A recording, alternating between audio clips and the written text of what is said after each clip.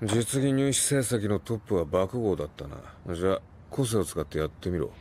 思いっきりな。死ねヒーローになるための3年間そんな腹積もりで過ごす気でいるのかい？除籍処分としよう。ようこそ。これが雄英高校ヒーロー科だ。大会除籍って入学初日ですよ。日本は理不尽にまみれている。だがこれが最高峰か。やるしかない。こっからが本番だ。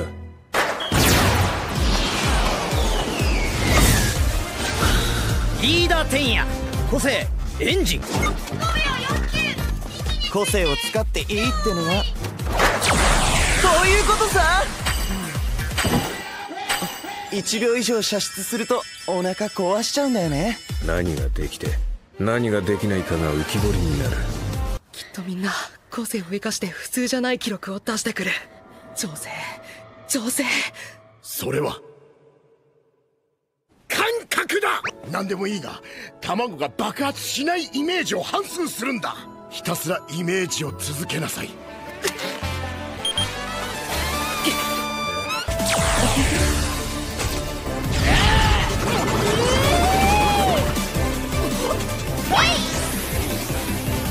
彼が入試時に何を成したか知らんのか。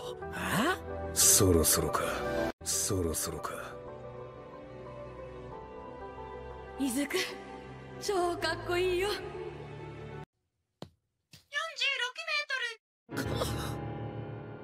個性を消した。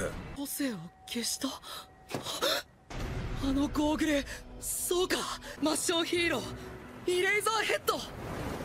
見たとこ個性が制御できないんだろまた行動不能になって誰かに助けてもらうつもりだったか？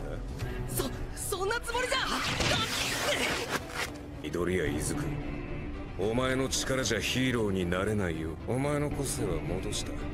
ボール投げの2回だトップとその？そゴミゼロ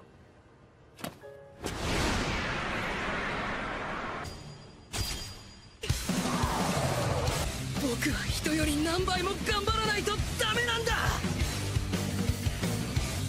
から全力で今僕にできることを。うわ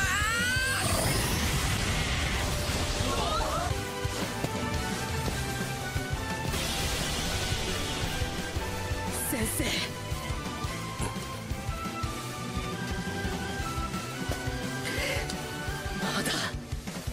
けますこいつ心配してきちゃったけどなんだよ少年。なんだよ少年。かっこいいじゃないか。力の調整はまだできない。行動不能になるわけにもいかない。やっとヒーローらしい記録出たよ。指が腫れ上がっているぞ。なんだあのパワー。けど実際。炭素繊維に特殊合金の光線を編み込んだ捕獲武器だ。俺はドライアイなんだ。見たものの個性を消す。瞬きすると溶ける。指大丈夫？痛みと戦いながら体力テストの全種目が終了した。じゃあパパッと結果発表。トータル最下位が除籍最下位は除籍。緑谷明日からもっと過酷な試験の目白押しだ。最下位からのスタート。憧れに近づくために。斉藤さん見てたんですね。暇なんですか？随分と肩入れしてるんですね。可能性がゼロではなかった。それだけです。半端に夢を追わせることほど残酷なものはない。やっないんだよな。